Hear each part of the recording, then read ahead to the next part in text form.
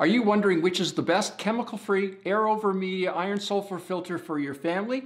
They all look the same. Is it an FOB, FOC, FOK? Again, they look the same. What's the difference? I'm going to explain it to you right now.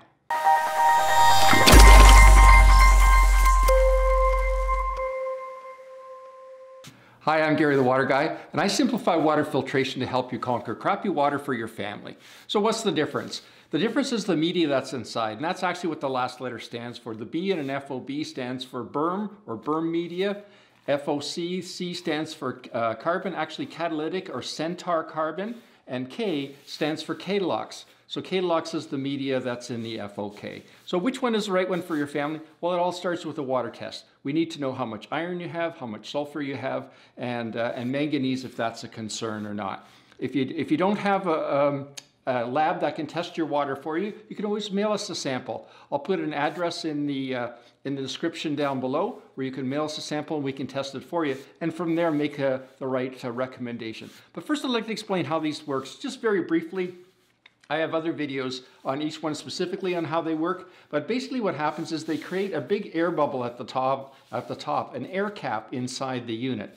And uh, so how they work is they actually oxidize the iron and the sulfur out of the water. So as when you run your water on an everyday basis, your water is sprayed through that air cap. And what that does, it oxidizes or brings out the iron and the sulfur out of the water as the water passes down through the tank and over the media, that oxidized iron sulfur gets trapped in the media. It continues down to a screen at the bottom of the tank and a tube that goes up through the middle, and then it goes on to your whole house, cottage, or cabin.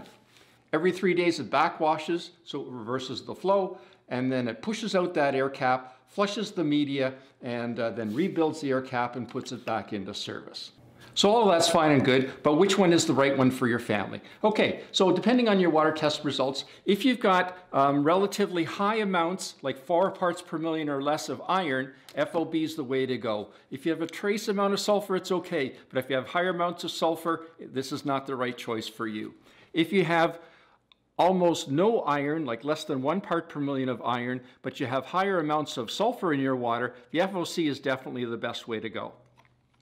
If you have up to seven parts per million of iron, up to two parts per million of, of uh, sulfur, and up to a couple parts per million of manganese, the FOK is the way to go.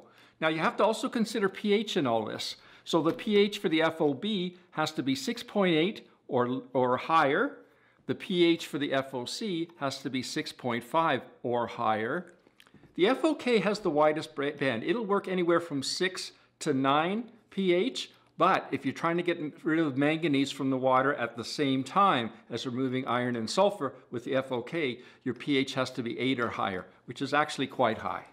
So the bottom line is you need to know the water test results to determine which is the right one for your family. To learn more about these systems, how to maintain them, how to winterize, etc., click up here and that'll take you to my next video on the topic and I'll see you there.